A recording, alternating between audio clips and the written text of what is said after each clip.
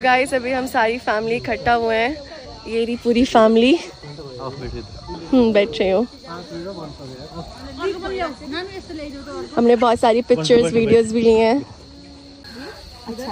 कैसा लग रहा है? मम्मी तो अच्छा लग रहा है ना? अच्छा लग रहा है मच्छर नहीं है वरना मैं तो समझ रही थी कि नहीं मच्छर नहीं है।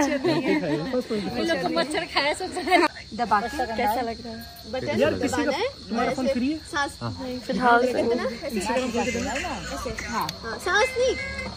देख नहीं। जा सकता। शामेबाज को चेक करो जरा।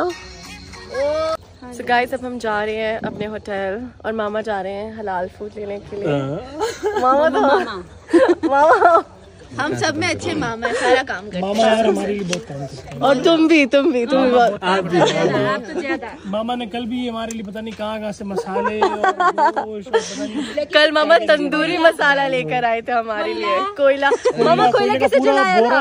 हैं।